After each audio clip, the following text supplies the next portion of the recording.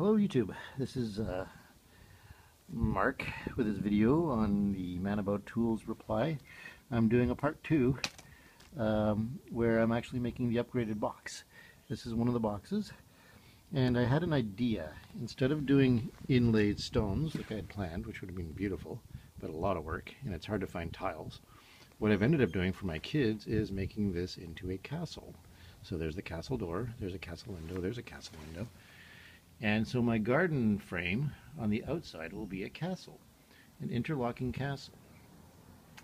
Um, and I've used Play-Doh, or not Play-Doh, I used plasticine, the oil-based dollar store plasticine, to seal the box because I thought silicone is kind of hard for me to work with. I'm not familiar with it that well.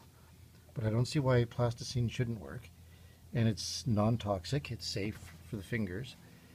And uh, can wipe it on and get it in the cracks very easily and reuse it in theory. This is the first time I'm using it, but I thought I'd give it a try. And uh, I'm using it to build a door frame and put the door seam. And if this works, it can add more detail. Add brickwork with the plasticine and so on. And over here is the other box. Pardon the light. Very bright light right today. And this is the other box where it also has the plasticine in it. And has a door and one window. And they will go in series together interlocking.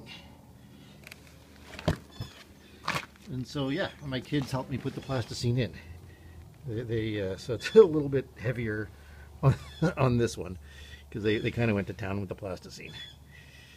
But I figure this is non-toxic. Kids can do it. And you can add a lot more detail with the plasticine you know, than maybe with the silicone. So I'll show you the uh, end result when I cast it. I got myself a cement mixer a while back from a neighbor. Bought it from him. And so you just heat up the plasticine with your fingers and pack it in like you do here.